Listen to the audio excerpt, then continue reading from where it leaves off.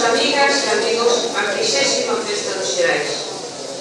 Sí, 30 anos pasaron xa desde aquel 1984 no que o editor Luís Mariño tivo a feliz idea de convocar o Premio Xerais de Novela. 30 anos de premios e de boas novelas. 30 anos percorrendo Galicia inteira, desde a Mariña Luguesa a Bayona, pasando por Ourense, Santiago, Alariz, Ferrol, Betanzos ou Villagarcía terceira é a Esnaída. Hoxe coñeceremos as persoas gañadoras do Premio Xerais de Novela e do Premio Merlín de Literatura Infantil 2013 grazas ao traballo desinteresado e impagable das persoas que formaron ambos os dous jurados. Grazas de corazón a todos. Grazas tamén á Consellería de Cultura e Educación e moi especialmente ás persoas da Fundación Illa de San Simón por acollernos ca súa habitual xenerosidade. E damos paso xa á música. Este ano contamos co grupo Os Irmandiños de Vinicius. Música tradicional e movimento.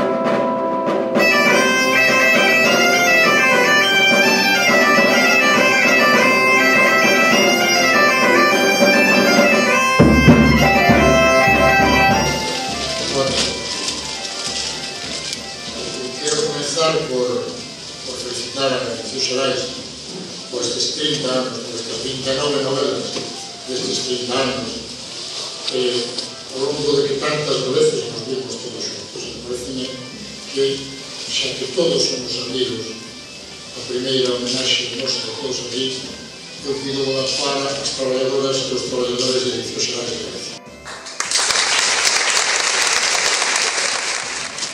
Irmás e irmãos, Feito Moreno na casa, entre outras cousas, un libro do que non sabía. Era o libro de mar, de loita, de procura, de traición e de grandeza, de almas nubres e outras miserables. Era, en fin, un libro como marido. Pero tiña algo moi grande, moi fermoso.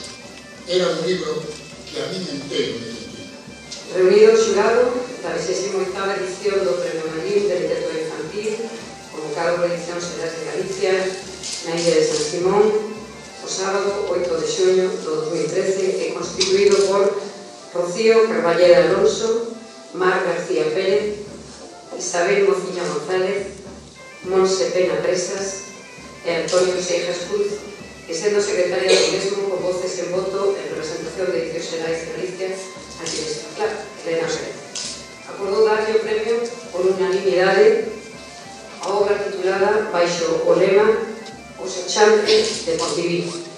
Antes da reaplica, Monse Pena Presas, que nome do xurado, fará unhas reflexións sobre as razóns que levaron a dito xurado a coñecer o premio o Hai obras de moitos tipos, obras que les unha boita traída por interese da súa trama, obras que están magníficamente escritas e vou reparando en cada unha das súas afortunadas combinacións de palabras e obras que non podes esquecer porque os seus personaxes quedan aboiando no teu maxín, querendo vivir ali por moito tempo.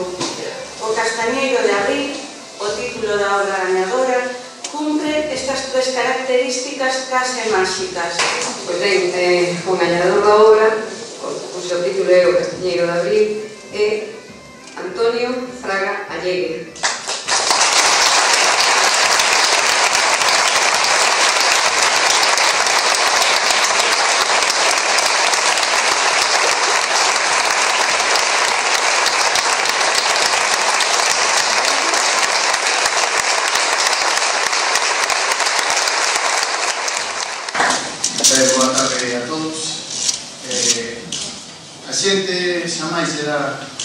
importancia as cousas miúdas dinlle ao meu protagonista alguén que se aparece de repente nunha praza.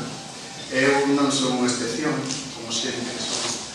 Eh, eh, non adoito darte toda a importancia que debe as cousas miúdas darlle as grazas a Xerais por esta tremenda honra. Eh, darlle os meus parabéns polo seu 30 aniversario.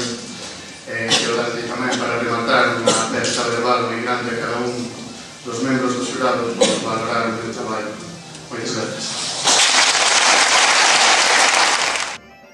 Reunido o xurado da 20ª edición do Premio Xerez Novela, convocado por licencia de Galicia, na Illa de San Simón, o día 11 de xunio de 2013, é constituído por Cristina Domínguez Baños, Elisa Iglesias Gil, Ramón Rosas, Raquel Feijó Casas, Milano Martínez e actuando como secretario con voz de desembolso Fran Alonso en representación de Edición Xeres Galicia acordou conceder o premio por maioría a obra presentada baixo lema Cadeas. Elisa Iglesias, o xurado que dá o texto justificado. Cadeas é unha novela de novelas. Un baúl de historias que denotan, ante todo, unha prodixiosa capacidade para fabular, para recrear, para imaginar. A novela iníciase a partir da anécdota dun escritor que descobre na praia unha muller nova que lee unha novela súa, tombada sobre unha toalla. A partir de aí establecese entre ambos os dous unha curiosa e incómoda relación que nos conduce a un debate sobre a identidade do que é ou non é hoxe unha novela e a súa construcción. Título da obra Careas, autor Xavier López López.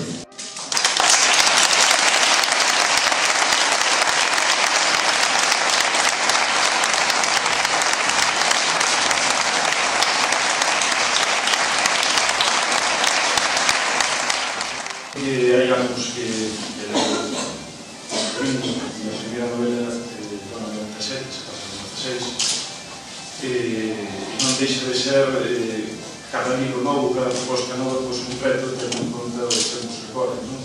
Eh, o primeiro que quería dicir eh, que é un honra eh, grandísimo para mí, que ter un nome emparejado do Premio Xerais, que máis que unha edición como esta, a trixésima, non? para que máis é dono, eh, cando chegue a casa reflexionaré un pouco sobre este momento. Non? Sabedes que eh, a mellor se, se chego a ver por escrito acabo facendo máis idea do momento. Neste momento non sabía dicir máis que pero, moitas grazas e que é unha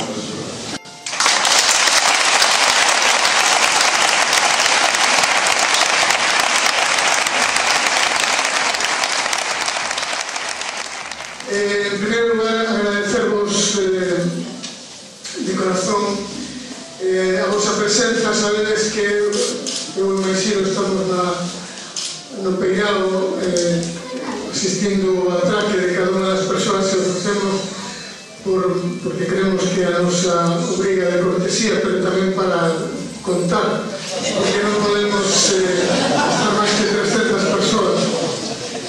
E este é o ano que máis persoas viñeron a este, a este acto 288 en concreto. Se vemos eh, os catálogos e se vemos os esforzos que se están facendo nos últimos meses, eh, para que probablemente o próximo ano que xa vos anuncio que teremos eh, novedades nos, nos premios con toda a seguridade que habrá eh, un reimpulso deste, deste certamen sabedes que levamos eh, varios xa dous anos convocando só dous premios eh, a nosa intención era polo menos convocar tres. Faltan os premios juvenil.